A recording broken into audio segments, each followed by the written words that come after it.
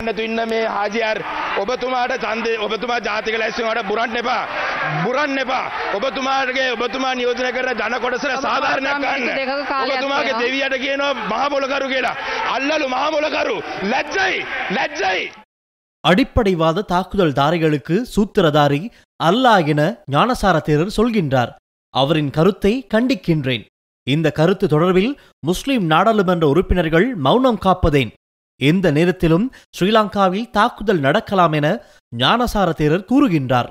அப்படியானால் முதலீட்டாளர்கள் எப்படி நாட்டுக்கு வருவார்கள்? ஜனாதிபதியின் உத்தியோகபூர்வமற்ற ஊடக பேச்சாளராக ஞானசார தேரர் செயற்படுகின்றார். இஸ்லாமிய தலைவர்களை கைது செய்யுமாறும் ஜனாதிபதியை பதவிக்கு கொண்டு வருவதற்காக சுமார் எண்ணூறு முறை மத வழிபாடுகளில் ஈடுபட்டதாகவும் ஞானசார தேரர் குறிப்பிட்டுள்ளார். தொடர்ந்து கருத்து வெளியிட்ட நாடாளுமன்ற உறுப்பினர் ராசமாணிக்கம் சாணக்கியன் புலம்பெயர் தமிழர்களுடன் கலந்துரையாட விரும்புவதாக ஸ்ரீலங்கா ஜனாதிபதி வெளியிட்ட கருத்தை ஐக்கிய மக்கள் சக்தி ஆளும் கட்சியாக இருந்து கூறியிருந்தால் இதற்கு இனவாத சாயம் பூசப்பட்டிருக்கும் என குறிப்பிட்டுள்ளார்.